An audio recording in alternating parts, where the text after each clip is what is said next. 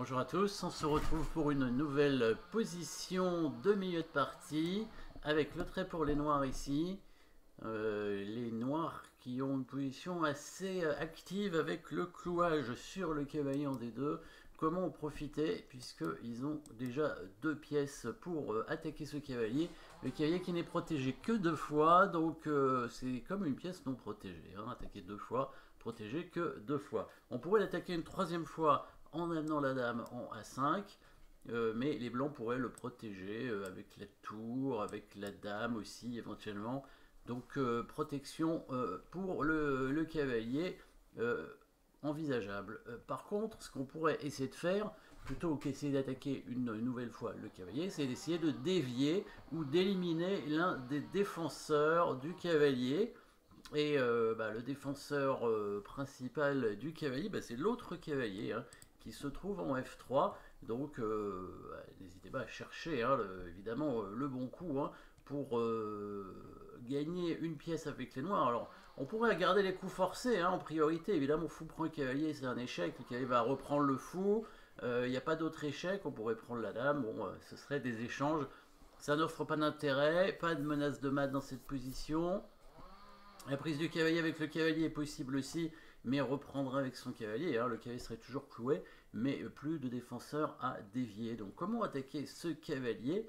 Eh bien, on va essayer, euh, n'hésitez pas à mettre la pause bien sûr si vous n'avez pas trouvé hein, le coup, on va essayer ben, d'avancer le pion de façon à attaquer le fou pour euh, ensuite attaquer le cavalier. Hein. Si jamais le fou bouge, on attaquerait le cavalier avec le pion, et là on gagnerait une pièce puisque le cavalier blanc serait attaqué, et s'il bouge, on gagnerait l'autre cavalier.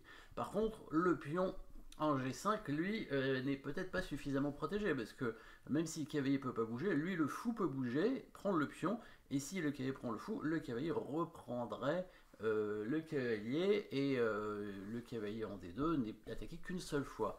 Sauf si on a une attaque double possible, bien évidemment, et c'est là où on voit le coup de dame ici en A5 hein, qui, apparaît et qui vient du coup attaquer hein, sur la cinquième rangée. Donc l'ordre de coup, je ne sais pas s'il a une importance particulière, hein, mais de toute façon on commence par G5, ça c'est sûr. Les blancs vont prendre avec le fou. Ici on peut soit prendre le, le fou tout de suite, soit on pourrait d'ailleurs prendre le, cavalier avec le fou. Alors attention, parce que euh, là c'est une fausse piste, parce que si on prend le cavalier avec le fou en se disant le cavalier blanc est surchargé, hein, puisque s'il prend euh, le fou euh, on gagne le fou là-bas. Le problème, alors bon là il va peut-être échanger d'âme, peut-être pour commencer. Le problème c'est que notre cavalier, bah, il a plus de cases, donc il joue H4 et là on se retrouve avec un cavalier bah, qui, est perdu. il peut pas, peut pas s'échapper. Donc attention, attention à la fausse piste hein, ici. Euh, attention à ce piège. Hein, il faut pas euh, prendre le cavalier avec le fou.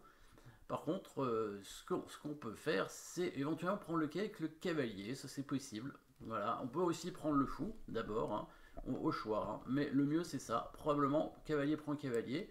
Euh, il n'y a pas tellement de, possibilités pour les blancs, hein, le mieux de reprendre. On prend sur échec, on garde le coup forcé pour après.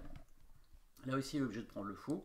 Et là, tout simplement, petit échec ici qui gagne le fou, non protégé, hein, il va jouer euh, sa dame peut-être là, et on prend le fou, voilà, et on a gagné une pièce pour un pion, c'est tout, voilà, ça devrait, ça devrait pas être mal hein, dans, la, partie avec un cavalier contre un pion, donc ici, euh, voilà, ça, ça arrive dans, l'ouverture, hein, euh, d'ailleurs c'est la fin de l'ouverture ici, les noirs qui ont réussi à créer un piège pour gagner une pièce en attaquant ce fou, et euh, alors si le fou bouge, évidemment, hein, euh, bien sûr, on avance le pion, on attaque le cavalier, et du coup, le cavalier en D2 est perdu, hein, puisque euh, il, peut pas, il peut pas bouger, il est cloué.